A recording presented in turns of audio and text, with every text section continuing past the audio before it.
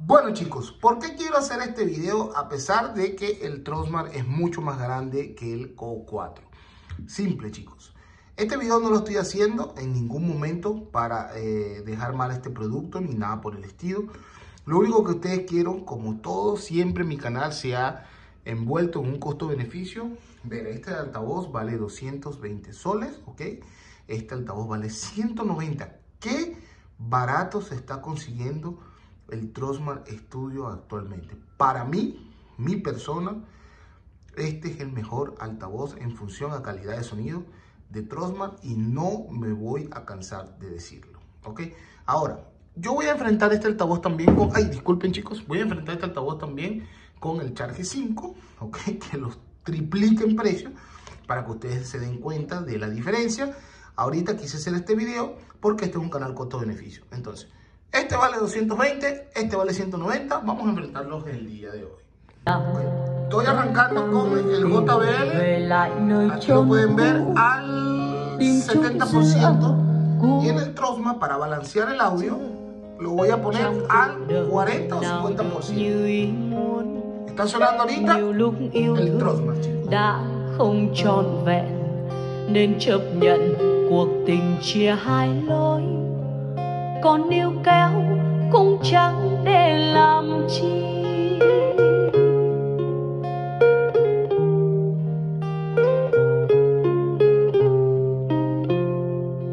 nguyện xin giữ những gì vắng là giấc mơ để Con 4. kỷ niệm dấu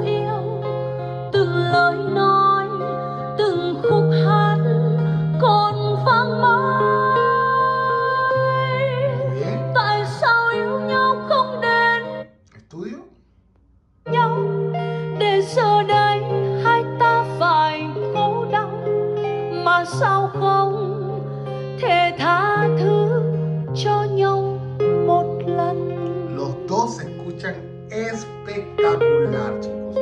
La diferencia aquí es el estéreo que tiene este altavoz. Te da unos detalles increíbles el estudio, chicos. O 4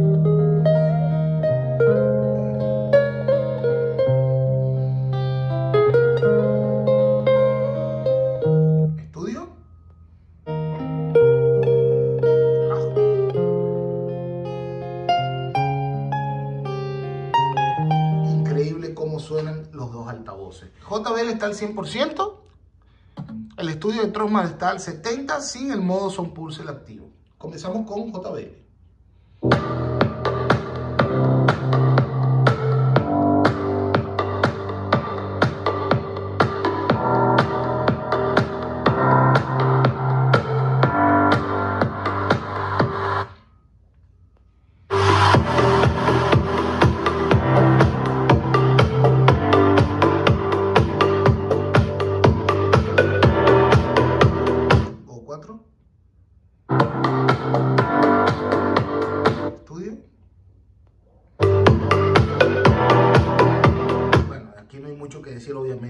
Parlante es mucho más potente. Estoy tratando de compensar lo que es la potencia con el audio para que ustedes también vean eh, y escuchen con sus audífonos. Bueno, vamos a llegar a mis conclusiones finales. No hay mucho que decir. Obviamente el Trosmar Studio es un encanto escucharlo. El Go 4 suena muy bien, chicos.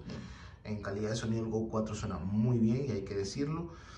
El estudio es una chicos. Te paras frente a este altavoz y de verdad que te quedas increíble. No esperas que sea un altavoz de la empresa Trosmar. De verdad que Trosmar aquí hizo un gran trabajo en el Trosmar Studio. Todavía no entiendo por qué este altavoz no se vende tanto. No lo entiendo si tiene tan buena calidad de sonido y un precio ridículo. 190 soles es un precio ridículo por este altavoz. Ya la decisión de compra de ustedes.